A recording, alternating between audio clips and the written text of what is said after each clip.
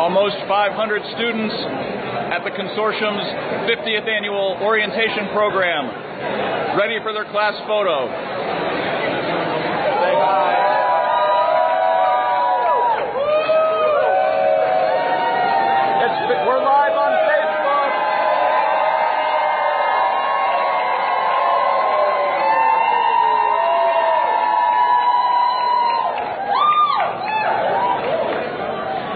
Bye. Bye.